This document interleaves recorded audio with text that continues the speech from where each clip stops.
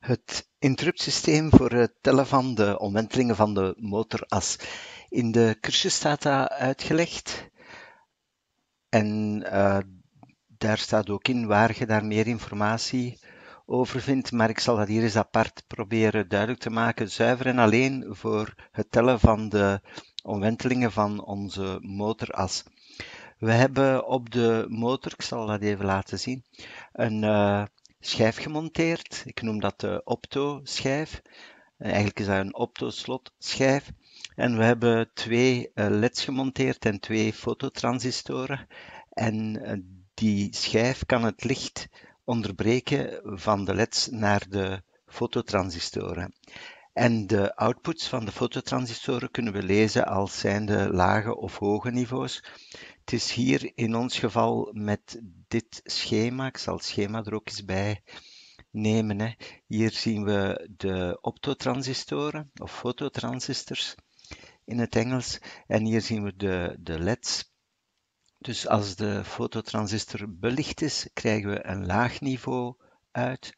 En als hier een uh, lip van de optosslotschijf tussenkomt, dan krijgen we een hoog niveau uit. En de transistoren zijn zo geplaatst in het schema dat ze werken als versterker.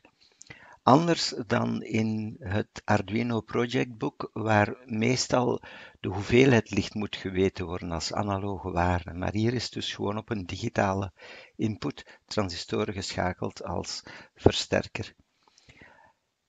Dus de transistor geeft een laag niveau uit als er licht opvalt en een hoog niveau als er geen licht opvalt. En we hebben twee van die schakelingen.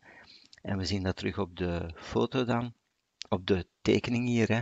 Uh, twee van die uh, optoslots om ook de richting te kunnen bepalen. Maar daar gaat het hier niet over. Dat wordt apart nog eens uitgelegd in de cursus, hoe je dan met zo'n twee optoslots ook de richting kunt bepalen. Wij moeten nu gewoon het aantal omwentelingen van de motor kunnen tellen en we mogen er geen verliezen.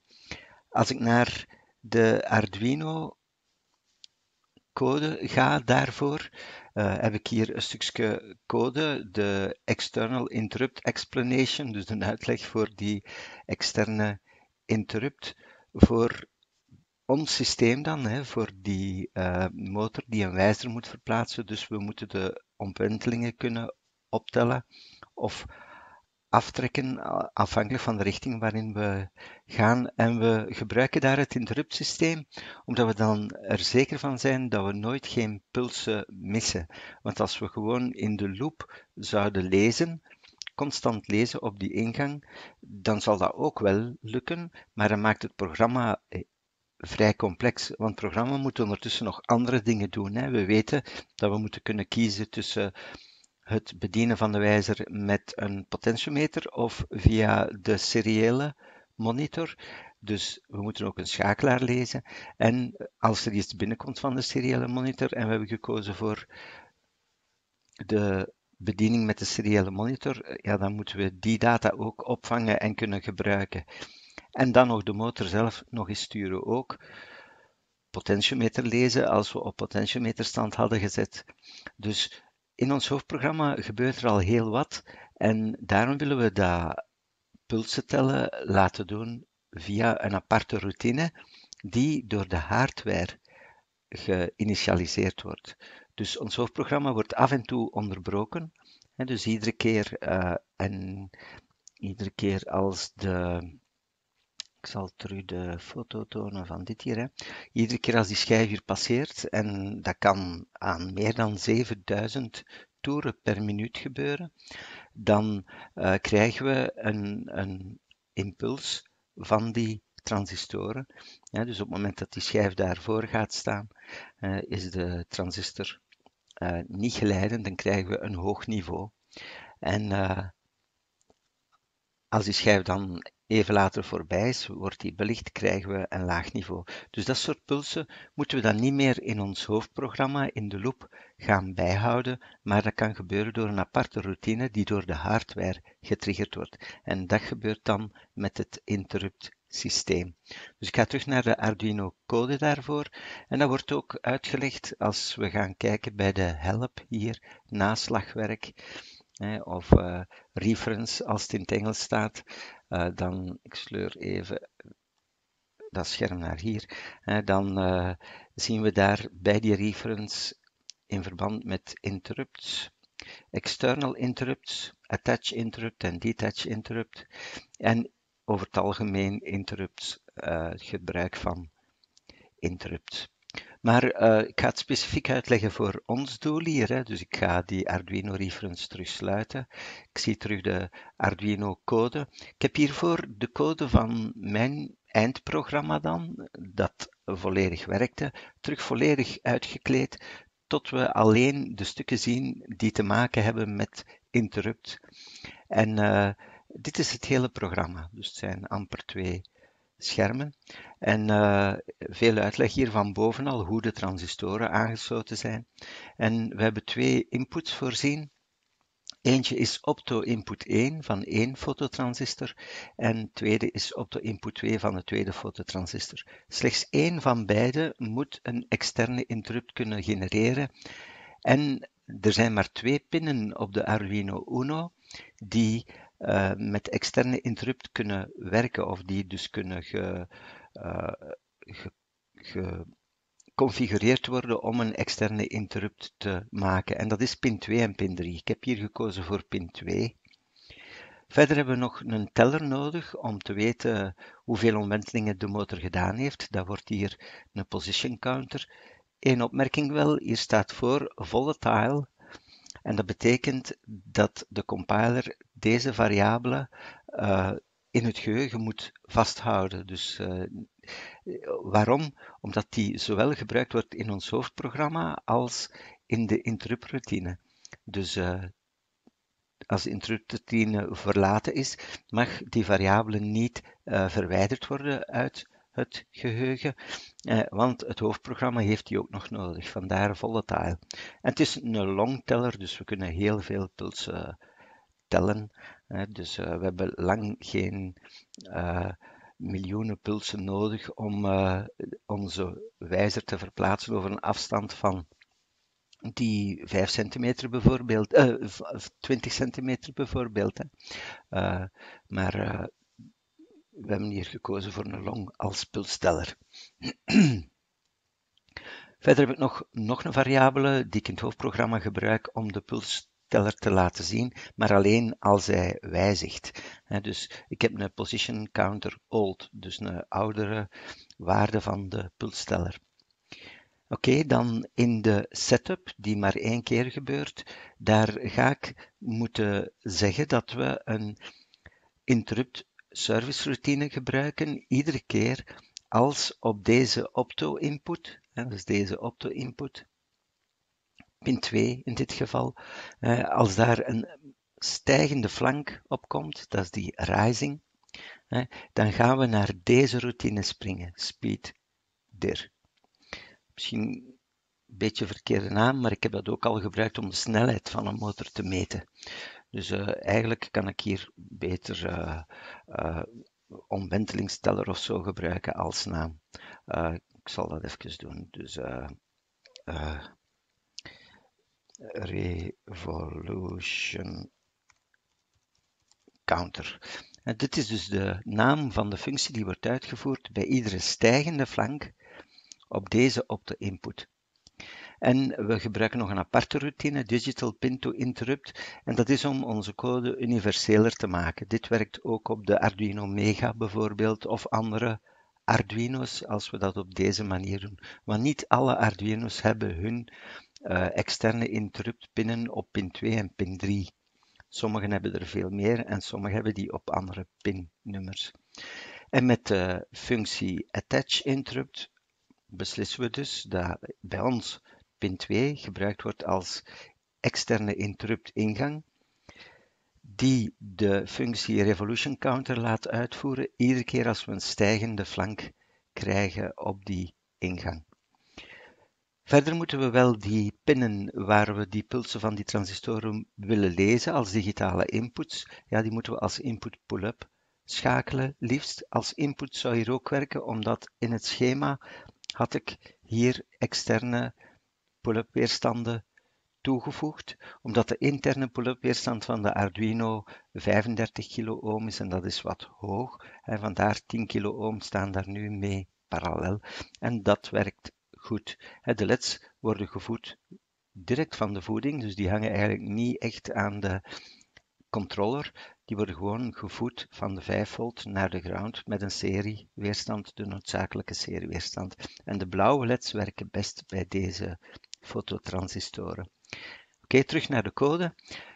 Dit was de volledige setup. Uh, op één ding na, hè. we gaan ook de seriële monitor gebruiken om die pulsen te kunnen zien. Hè. Dus als die pulsen lopen, dan moeten we die kunnen uh, zien dat dat gebeurt en liefst de waarde daarvan zien. En niks zo gemakkelijk dan de seriële monitor dan natuurlijk. Hè.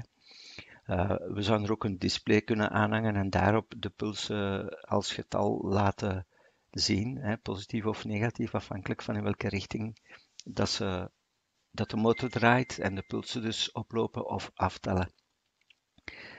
In de loop, wat staat daar? Als die pulsteller gewijzigd is, dus als de motor aan het draaien is, en die is niet gelijk aan de vorige tellerstand, dan pas tonen we de, via serial.println tonen we die puls. Dus telkens op een nieuwe lijn tonen we de nieuwe stand.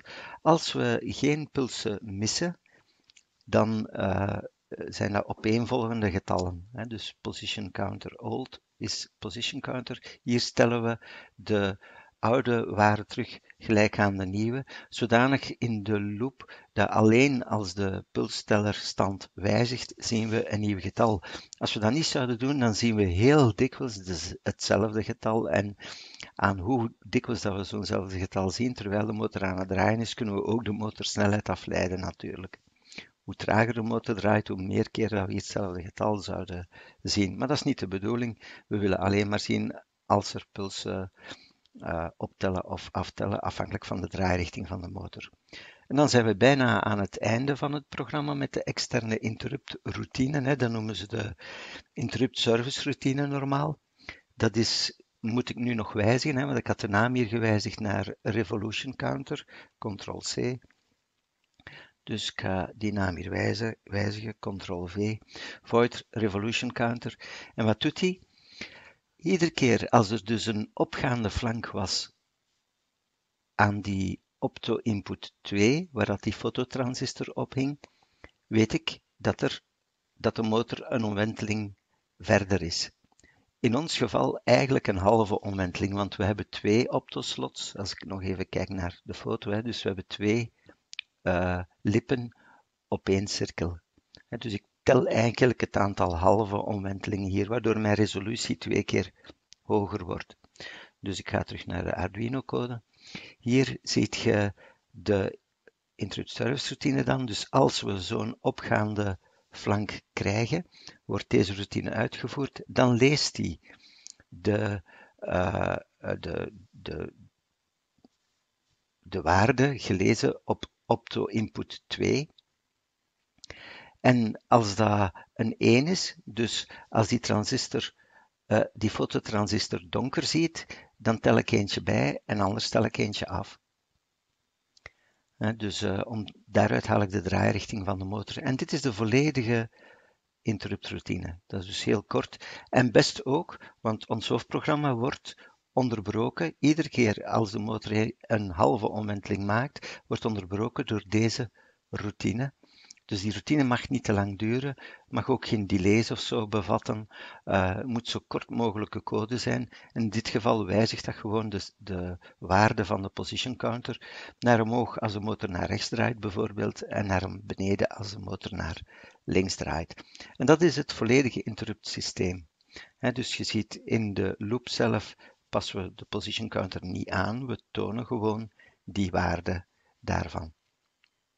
Zo, ik hoop dat zo het interruptsysteem uh, duidelijk is voor onze toepassing hier. Uh, wilt je echt meer details weten, en dan kun je altijd via de reference van de Arduino daar de, uh, de, de, fijne details van te weten komen, hè, van hoe je die interrupts nog kunt gebruiken. Maar voor onze toepassing is het dit hier en dit stukje code vind je terug in het uiteindelijke programma.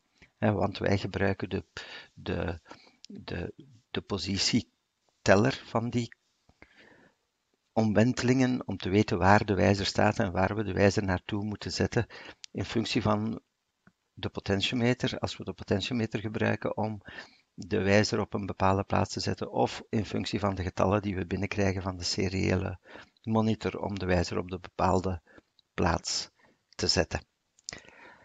Ik zal nog uh, een filmpje hierachter monteren uh, waar we dat dan in praktijk toegepast zien. Eerst zal ik al eens uh, zien of dat, dat hier compileert. Dat ik geen typfouten gemaakt heb. En dan zal ik het uploaden naar de Arduino.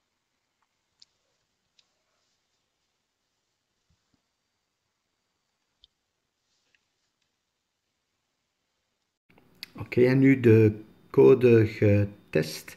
Uh, dit is de, de draadstang. En hierop zit het optoslot, dubbel optoslot. Je ziet daarachter de twee transistoren. En de optoslotschijf draait daartussen. En dan zien we op de seriële monitor, als we naar rechts draaien, dan tellen de getallen op en als we naar links draaien, tellen de getallen af. Dus de, dat gebeurt via de externe interrupt. Dus het werkt.